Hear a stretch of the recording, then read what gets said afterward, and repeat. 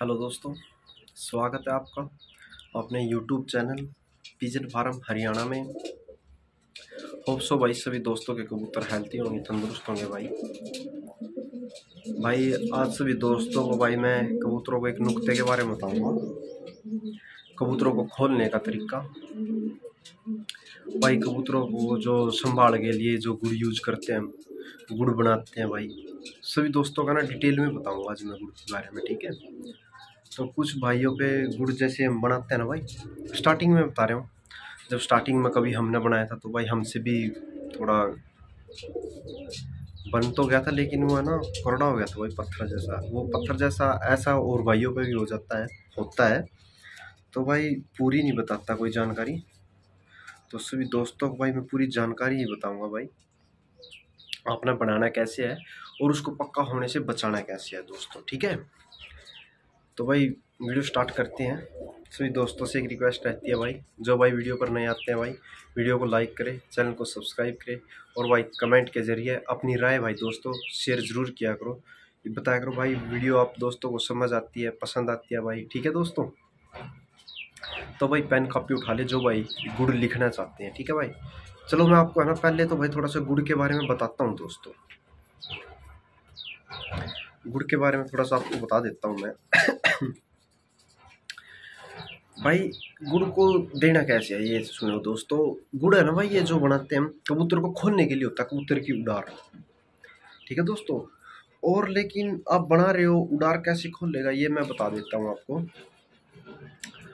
जिन कबूतरों की आपने उड़ार लेनी है ना, पहले आपने उन कबूतरों को भाई, जैसे आज धूप निकल गई भाई, जिस दिन धूप निकले ना यानी लगातार तीन तीन दिन करना आपने एक छोटा सा गुड़ की डली लेनी है, चने के साइज़ की, या चने से छोटी गेहूँ के साइज़ की, वो अपने कबूतर को दो और धूप में बैठा दो, कम से कम दो ढाई घंटे कबूतरों को, ठीक है?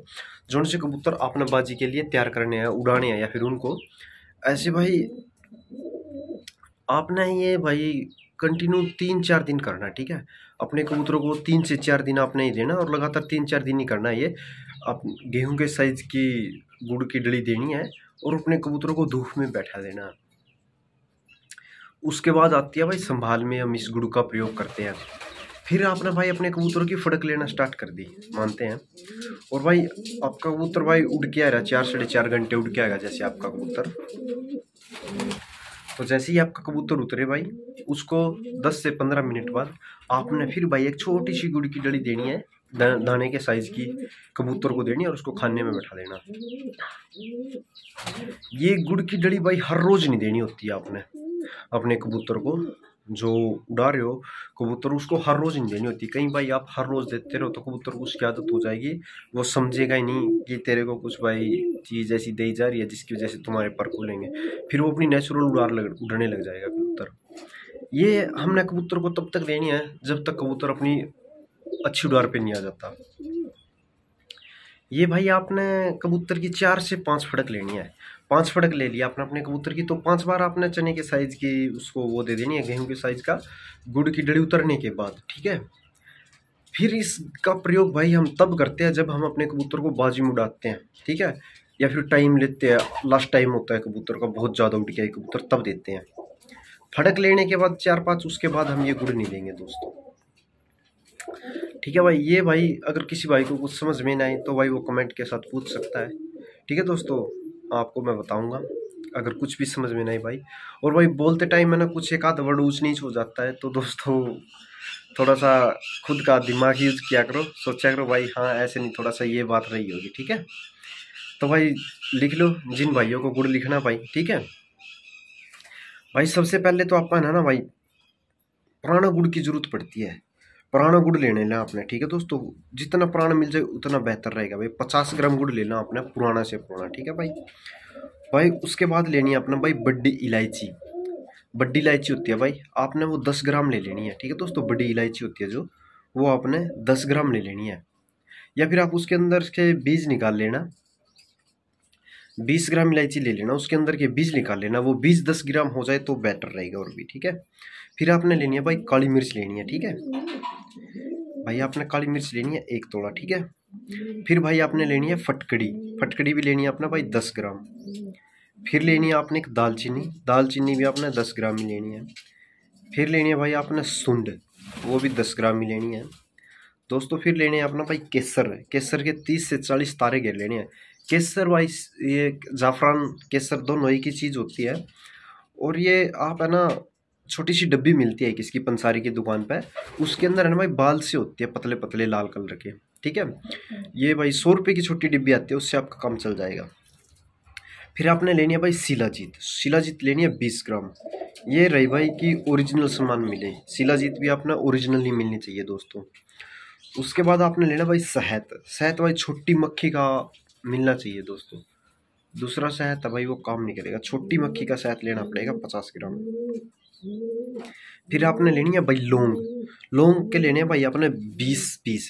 जो ऊपर से टोपी होती है ना, वो उतार लेनी है आपने लौंग की और वो बीस पीस लेने हैं। फिर लेना है चांदी व्रक। चांदी व्रक के लेने हैं अपना पाँच पीस, ठीक है? फिर भाई एक इसमें ज़रूरत पड़ेगी एक देसी घी ले, देसी घी लेना। भाई वो भी गाय का लेना एक चम्मच। अच्छा ठीक है? गाय का देसी घी बेटर रहेगा क्योंकि गाय का घी है ना भाई, हल्का होता है, ठीक है? भैंस के दूध घी से।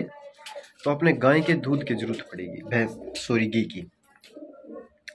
देखो करड़ा नहीं होना, वो तरीका मैं आपको बता देता हूँ। फटकड़ी है। फटकड़ी को आपने है ना पीस लेना, ठीक है? फटकड़ी को आपने चूरा बना लेना। चूरा बना कर आपने तवे पे हल्की सी आँच रख कर उस पर घेर लेना, खिल हो जाएगी, फटकड़ी को हिलाते रहना। वो पानी से टाइप की हो जाएगी और जम जाएगी, बहुत करड़ी टाइप हो जाएगी, ठीक है? उसको उतार लेना। फिर आपने एक राउंड फिर फटकड़ी को पीटना है, ठीक है? चूरा बना लेना है। ऐसे ही आपने शिलाजीत के साथ करना है। शिलाजीत नहीं सॉरी शिलाजीत के साथ आपने ऐसे नहीं करना है।